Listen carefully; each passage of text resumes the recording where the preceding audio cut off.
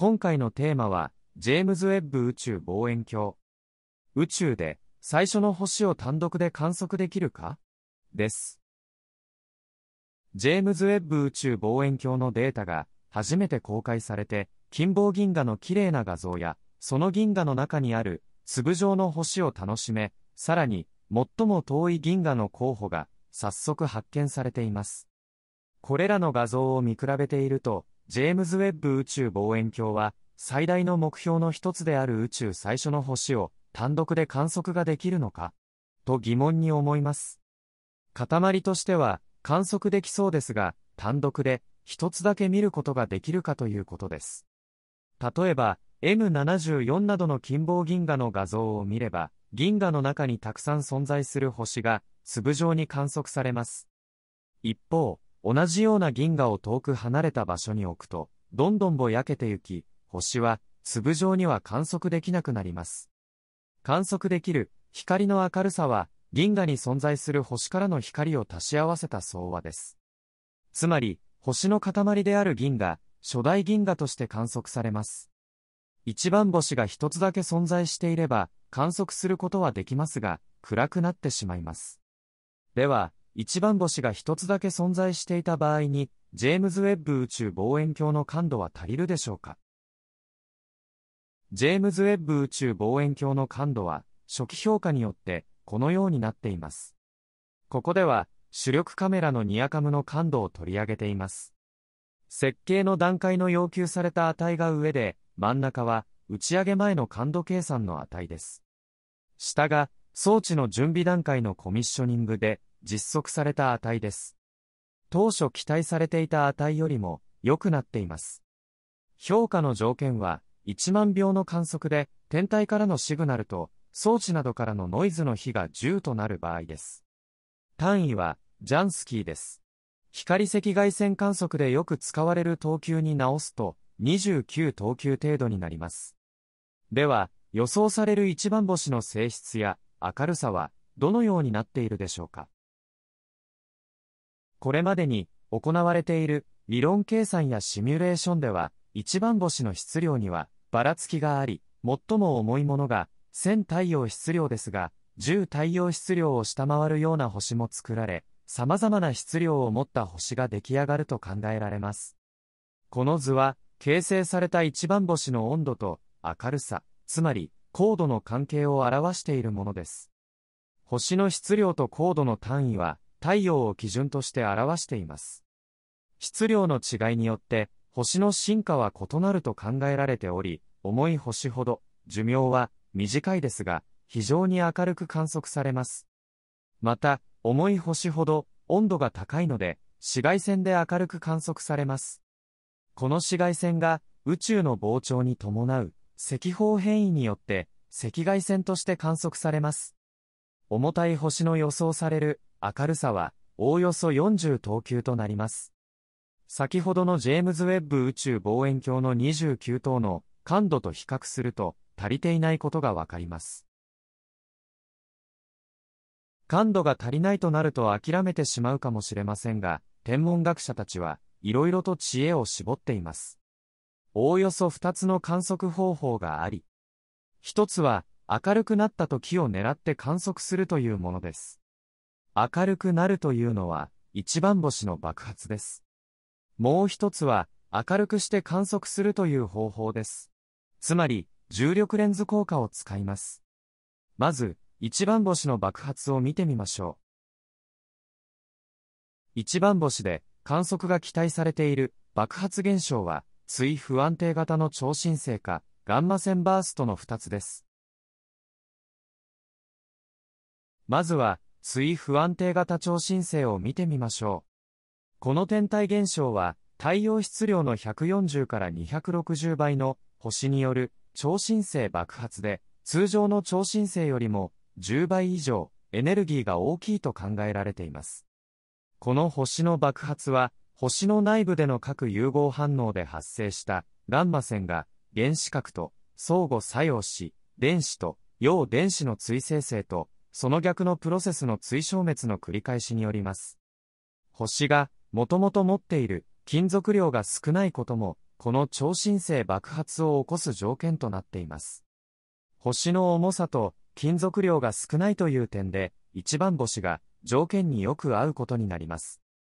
水不安定型超新星は理論上期待されているもので、まだ観測的には確認されていません。この図は、ジェームズ・ウェッブ宇宙望遠鏡が観測する赤外線の7つのバンドで予想される水不安定型超新星の高度曲線です。横軸が時間で、年です。この時間は地球近傍で観測する場合の時間で、赤方変異の値が大きいほど、つまり遠いほど、観測者での時間の進み方は遅くなっていきます。縦軸が明るさです。点線で示しているのは、ジェームズ・ウェッブ宇宙望遠鏡で10分間観測した場合の感度で1000よりも上であれば観測することができます。観測できないものもありますが、いくつかの場合は、ジェームズ・ウェッブ宇宙望遠鏡の感度で観測することができそうです。ただし、高度曲線の変化の仕方が非常に遅いので、1回観測しただけでは画像に映っているのが星なのか、超新星なのか判別がつきません。例えば、このオレンジの網掛け部分のように、数年以上にわたり、同じ場所を観測すると、水不安定型超新星を判別できます。また、水不安定型超新星は、どこで起こるか予想がつかないので、広い領域をサーベイする必要があります。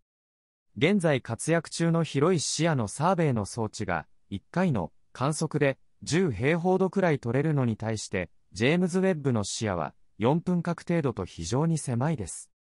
理論的な予想では、ジェームズ・ウェッブ宇宙望遠鏡で1万視野ほど観測すれば1イベント見つかるという予想もあります。なかなか根気がいる観測ですが、数年にわたる長期計画を立てて実行できれば、検出が期待されます。次に、ガンマ線バーストです。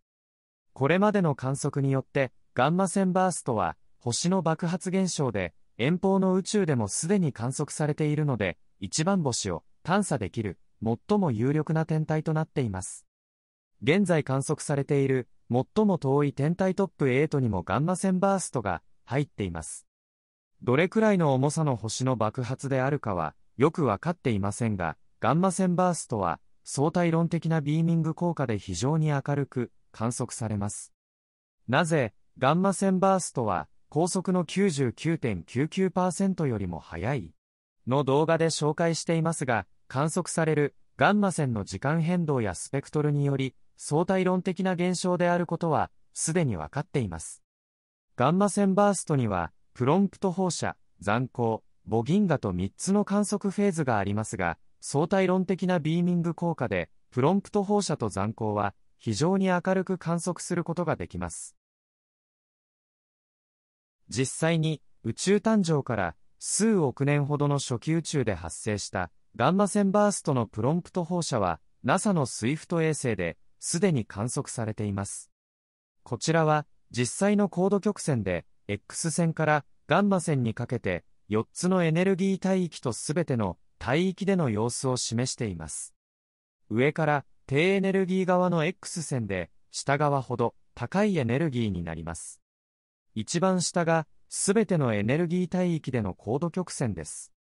横軸が時間で秒です。縦軸が光子の数です。ガンマ線バーストという名前からガンマ線の観測が必要に思われますが、赤方変異により、高エネルギー側の100から350キロエレクトロンボルトの帯域には、シグナルが観測されていません。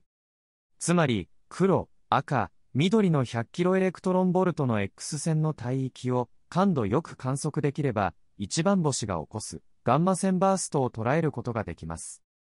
先ほどの水不安定型超新星の探査と違い、数十秒程度の観測で候補を発見することができそうです。ただし、X 線の観測では距離を測定することができないので、付随する残光を発見してスペクトルを取る必要があります。次に、ジェームズ・ウェッブ宇宙望遠鏡による観測が期待される残光の明るさを見てみましょう。この図は、ガンマ線バーストの残光の高度曲線を示しています。横軸が時間で、今度はガンマ線バーストが発生してからの日数で表しています。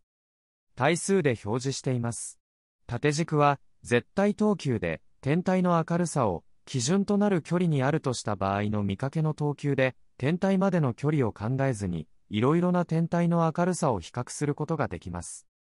ちなみに等級は5等級変わると100倍明るさが変わることになります。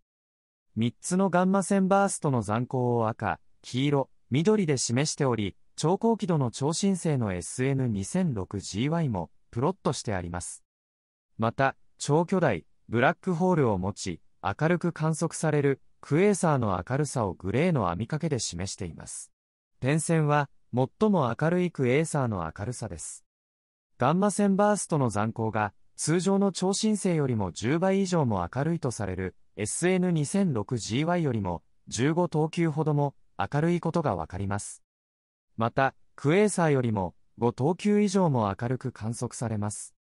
これくらい明るいと、ジェームズ・ウェッブ宇宙望遠鏡でスペクトルを取得して距離を測定することは、それほど難しくはなさそうです。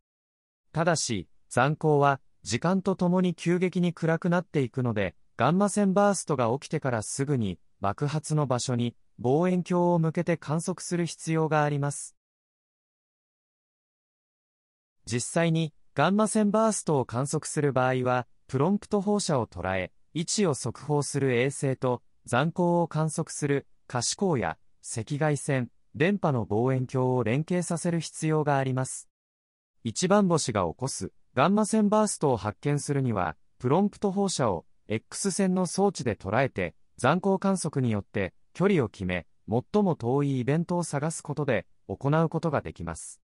残光は遠方にあるために赤方変異し、可視光の望遠鏡では観測できなくなるので、赤外線を観測するジェームズ・ウェッブ宇宙望遠鏡やアルマ望遠鏡、次世代大型電波干渉計の電波の観測が重要になってきます。現在稼働中の NASA のスイフト衛星は1年間におおよそ100イベント捉えています。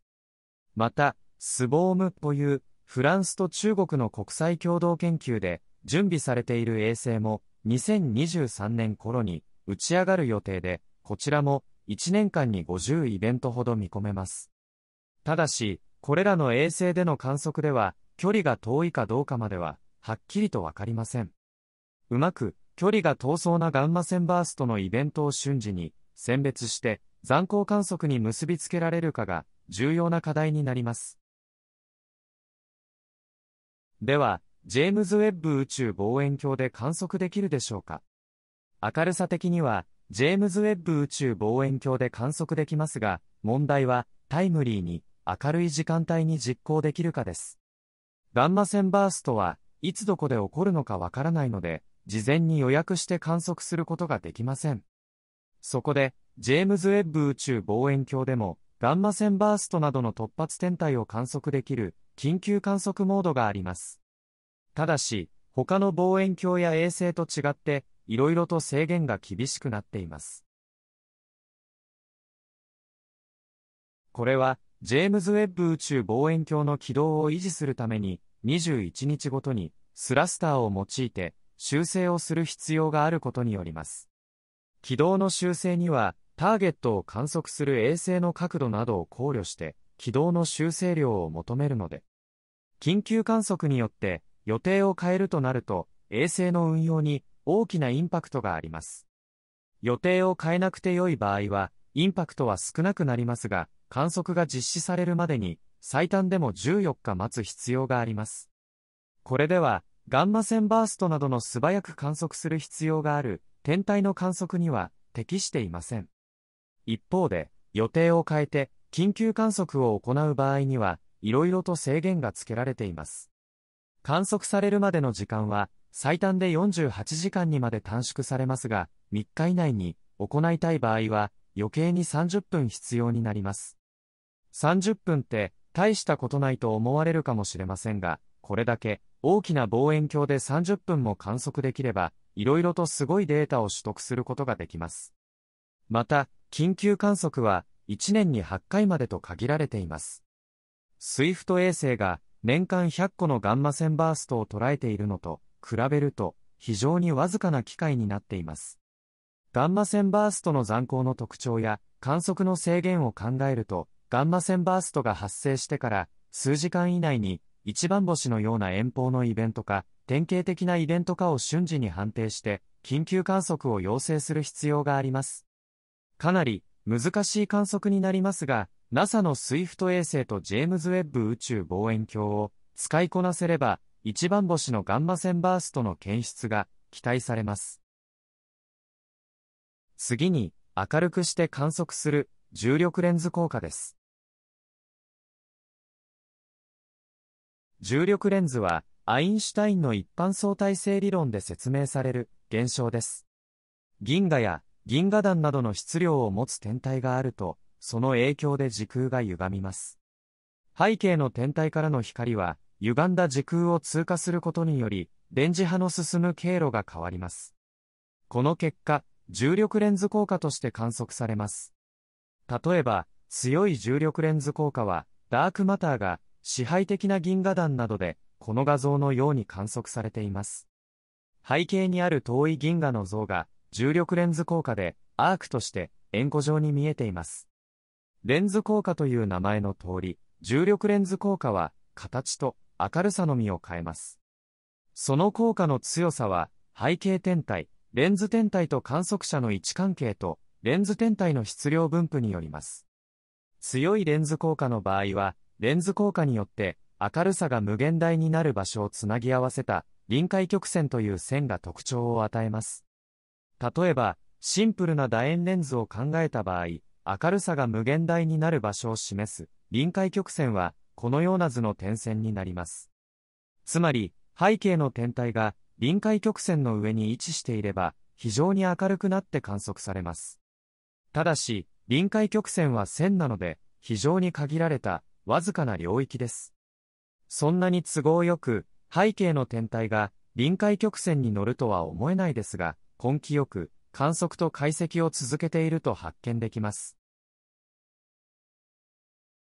実際に、ハッブル宇宙望遠鏡の Treasury Program、Reionization Lensing Cluster Survey として、合計41の銀河団の観測が集中的に行われ、そのうちの一つの赤方偏移0.566にある WHL013708 という銀河団をレンズ天体とした観測で、その背景にある距離129億光年にある遠方銀河が特定されています。さらに、その銀河の中にあり、銀河団の重力レンズ効果によって、数千倍に拡大された星のような天光源が発見されました。実際に特定された129億光年にある遠方銀河とその銀河の中にある星の拡大画像です。赤い線状の円弧に見えているのがサンライズアークと名付けられた遠方銀河です。この円弧は三重に撮像されており、全部で7つの星形成領域も存在しています。エレンデルと名付けられた最も遠い単独の星はこの部分にあります。先ほどの明るさが強く増幅される臨界曲線が赤線で描かれています。エレンデルはほぼ臨界曲線の上に位置しており、強く増幅されていることが見て取れます。ただし、どのようなレンズを使っているのかは、よくわかっておらず、重力レンズのモデルに強く依存します。4つの重力レンズのモデルの臨界曲線が描かれています。多少の違いがあるものの、4つのレンズモデルのどれもがエレンデルの場所と重なっています。微妙に違っており、この違いは重力レンズ効果によって明るくなった倍率が1000から4万倍と大きな幅を持っています。ジェームズ・ウェッブ宇宙望遠鏡では、さらなる精密な観測が行われており、研究チームによって追跡観測の画像が公開されています。詳細な解析が進むと、エレンデルがどのような星であるのか明らかになると期待されます。また、エレンデルと同じように重力レンズ効果によって明るくなって見える星の探査も進んでいます。例えば、アメリカのバイデン大統領が先行公開したスマックス0723では、これまでに発見されていた円弧状のアークは5個でしたが、ジェームズ・ウェッブ宇宙望遠鏡のデータから新たに10個以上のアークが発見されています。それぞれの研究グループによって新たに発見されたアークの数にばらつきもありますが、詳細な解析が進めば、エレンデルよりも遠い星の発見が期待されます。今後の解析の進展が楽しみですね。